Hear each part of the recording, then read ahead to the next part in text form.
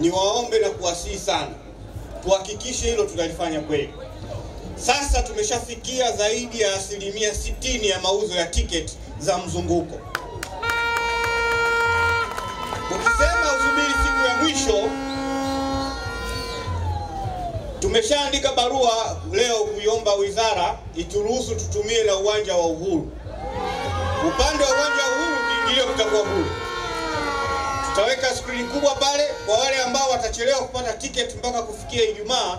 Naamini tutakuwa tumeshamaliza, wataenda kwenye uwanja wa Uhuru, hamna shida, lakini muhimu ushiriki katika lile tukio kwa kuliona. La mwisho ni washukuru zaidi wote mlioshiriki hapa, na niwaombe wanasimba wote tushiriki kwenye Simba Week kuhakikisha kwamba tunaichangia jamii yetu ambayo tunaiishi siku zote.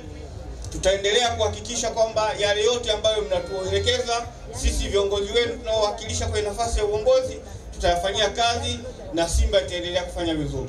Niwashukuru sana.